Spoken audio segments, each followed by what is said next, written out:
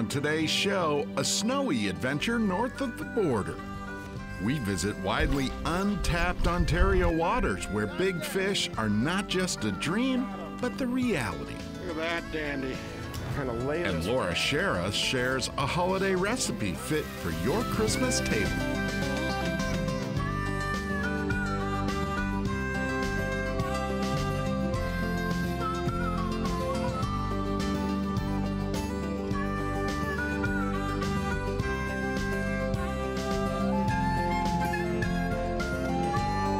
Minnesota Bound. Presented by Kinetico Water Treatment Systems. Hey everybody, Laura and I welcome you to this very snowy episode. Up first, our adventure takes us to Ontario. Yeah, you know, with COVID seemingly in the rearview mirror, thank goodness, we can finally cross the border again to go fishing. And it's ice fishing few have ever experienced.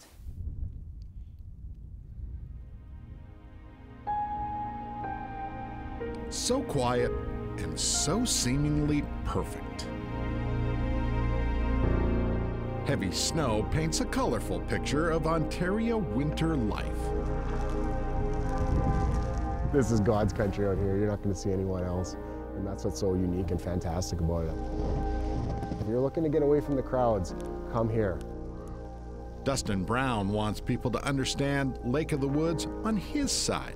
Ontario's version looks like this. Far different from the feverish fishing scene just south of the US Canada border. What do you think? I'm ready to do some fishing. It's another Canadian day. Heavy snow blankets the east end of Lake of the Woods. I Think we're ready to go?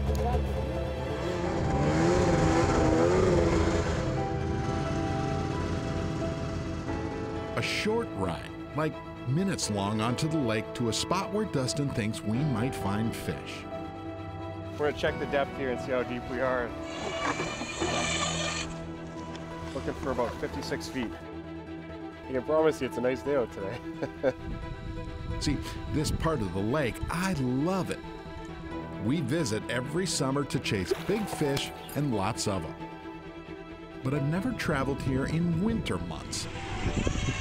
Hope to understand if the rumors prove true. We'll go to work, see if we can snap a couple here. Too bad we can't ask. Not much of a crowd where we fish. Oh, look at this fish! There's a whole school of them right there. Suspended walleyes. Perfect. Well, let's get down there and catch some fish.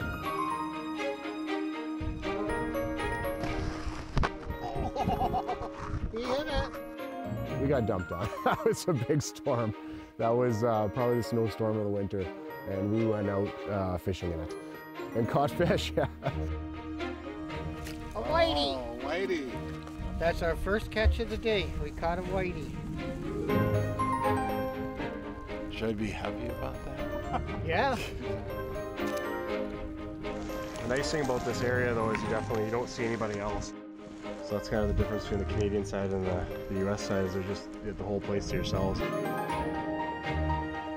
Oh, oh, little walleye. kind of small, but still a good little eater. Good work. Smiles all around. Catching walleyes tends to do that. Too bad nobody else showed up to fish. Not exactly a busy area on this massive lake of 14,000 islands. Somebody you know? Yeah, this is one of our trucks. This is our lunch. Yellowbird plows an ice road down Long Bay. If you call or text us with your order, we'll run pizzas out here, beers out here, sandwiches, burgers, whatever you need. Good thing, too. With this much snow, travel gets tricky. It's dug in again. No hurry. After all, life back at the lodge looks like this. Might as well hang tight and keep fishing. Get ready once this snow passes. We get busy making memories. Dustin!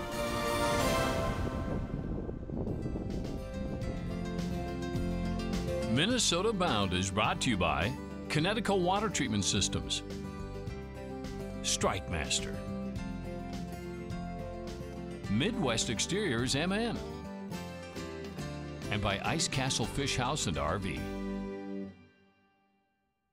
The big snow might be over on the Ontario journey, but now it's time to chase a big ice fishing dream.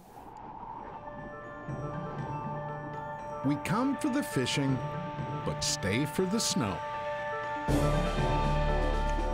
Cold is the moon that hangs over Yellowbird.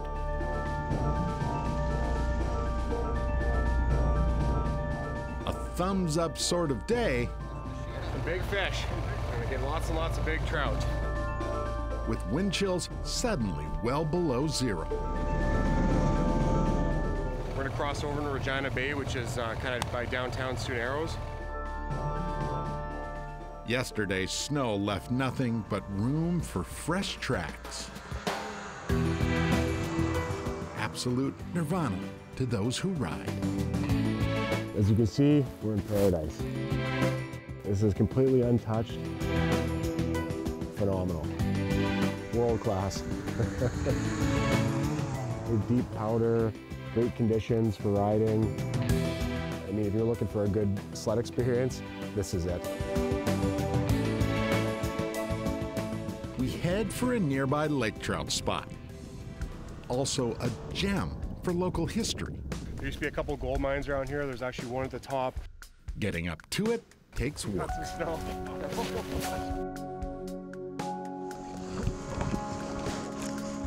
It's hardcore.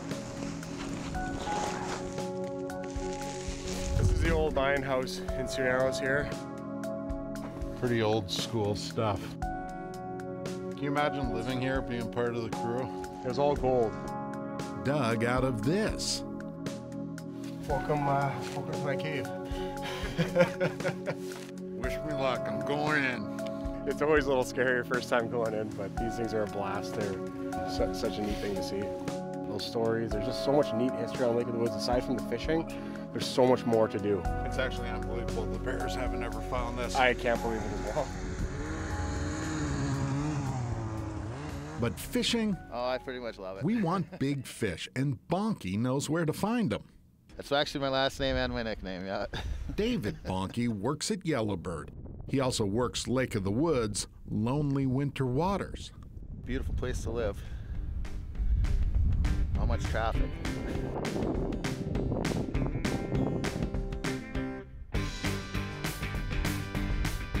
Man, big fish.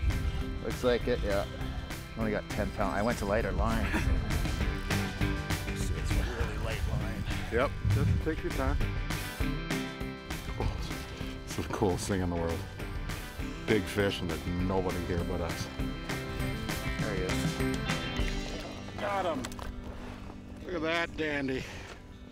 For so many people, that is a fish of a lifetime. All right, get her back. Yep. Right on. Come if you're into this sort of thing. Otherwise, just stay home. It's just unbelievable because there's nobody here doing this. No, no, it's uh, pretty much just us for as far as you can see. I mean, you can do it again if you want. I'm gonna try. Such is life at Yellowbird. A winter resort so full of potential, with so many stories yet to be told. We're kind of enjoying it right now, having it all to ourselves, you know, and a little bit more quiet, but uh, we definitely would like to start seeing some more and more people venture to this side of Lake of the Woods. But here, because the fishing's so phenomenal, there's so much to explore here, and it's so untapped. So we're really trying to now start something from scratch that's never been done on the Canadian side before.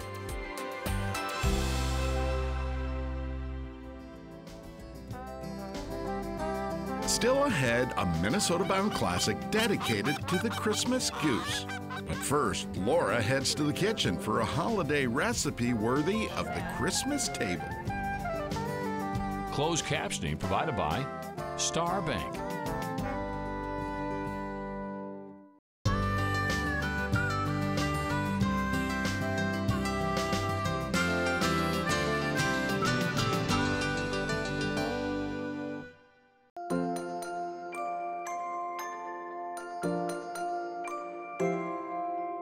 The holidays are a wonderful time to share your wild harvest with friends and family. So I'm here with Chef Jim Kimberg from Dellwood Country Club, and today we are getting wild in the kitchen making a holiday presentation of a French elk rib rack. You got it. You All nailed it. So what makes this a French rib rack per se?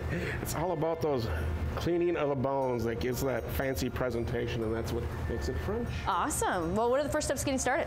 Uh, we're actually going to reverse sear this today. So it's going to go low and slow in an oven. We've got our oven set at about 275.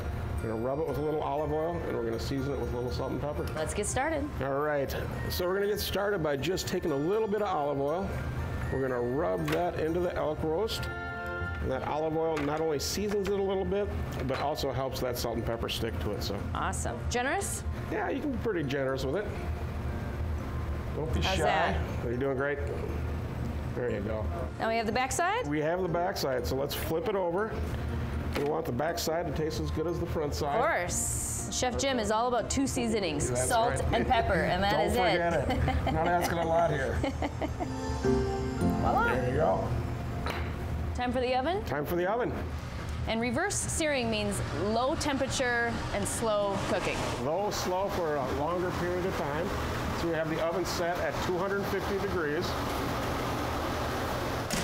So low and slow. How much time does this need to stay in the oven? It's going to be approximately 30 minutes. The goal is to get the internal temperature up to 100 degrees. That's about a three pound roast in there. So approximately 10 minutes per pound. But I do want to check it a little early just to be sure we don't overcook it. Never overcook it. Never, ever overcook it. So it's been about 25 minutes, yes? 25 minutes. All right. Woo! Look at that. We're going for 100. Looks like we're just a little bit over, which is fine. Um, but yeah, we're looking great. So we've got our uh, cast iron skillet, pretty ripping hot, like medium high heat. See a little smoke coming off there. And how much olive oil did we just put in the pan? Uh, three tablespoons, close to a quarter cup. So now we are going to kind of lay this rack you know, top side down. There's the sizzle. There's the sizzle exactly. Put the second one in. And how long do we sear those? Just a couple of minutes. We just want that little crust of color. We're gonna bump up the flavor just a little bit with some shallot. A little bit of garlic. And then some fresh herbs, yes. We're just adding another layer of flavor, that little hint of what is that? That's fresh herbs. All right, moment of truth, Laura. Let's see how we did. Mm-hmm. That is So gonna be hopefully if we did this right, it's that perfect medium that. rare, just juicy. This looks beautiful. Thank you. As you gather around the table this holiday season, you can go ahead and share your wild game and memories with family and friends. You ready for a taste I'm test? ready. So good. It's really good. Merry Christmas from the Minnesota Bound family to yours.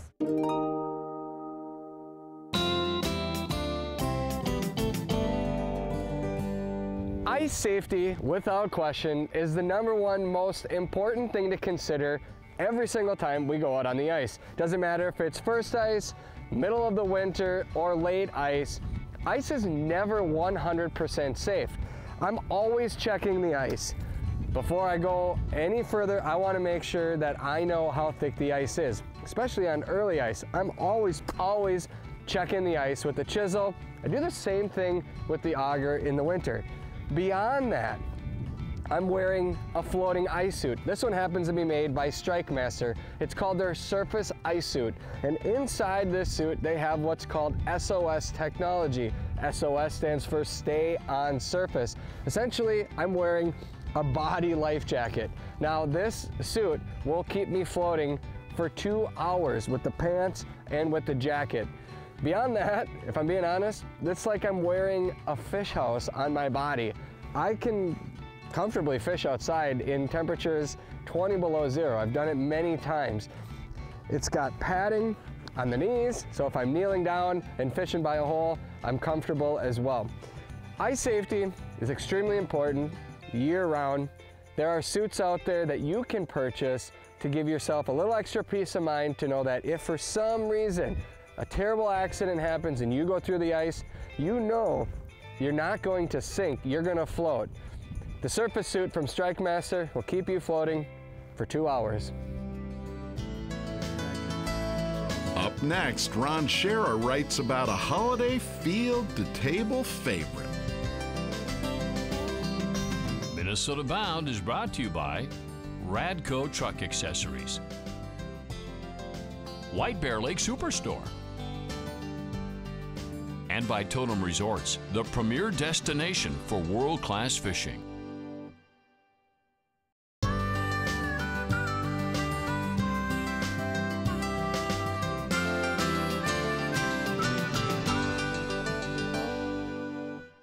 Today's Minnesota Bound Classic takes us back to 2006. To the day Ron Schara chased a Christmas tradition.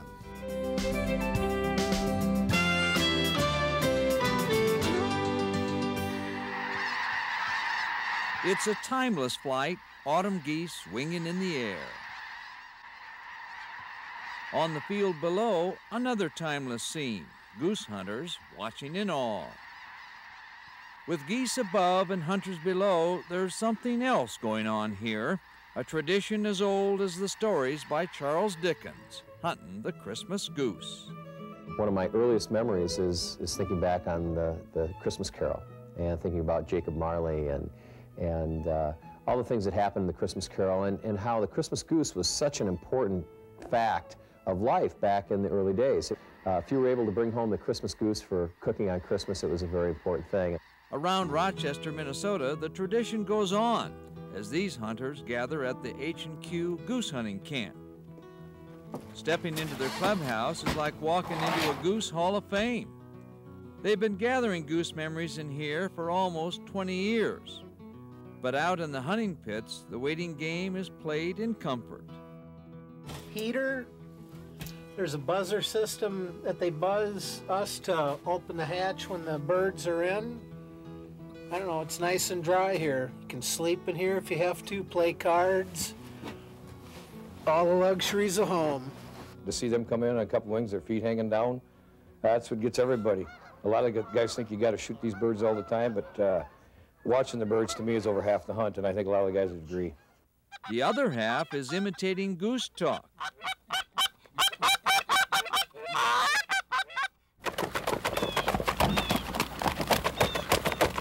Waving flags to attract attention is also a ploy.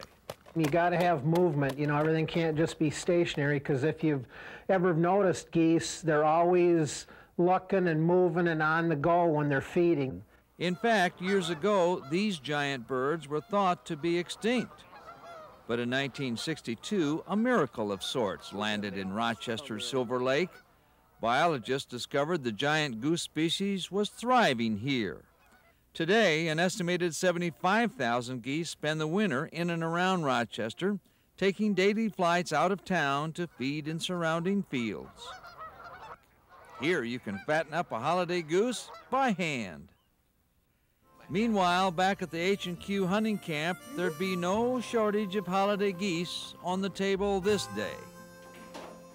Inside the clubhouse, the holiday season was full of cheer, including cheer for the goose.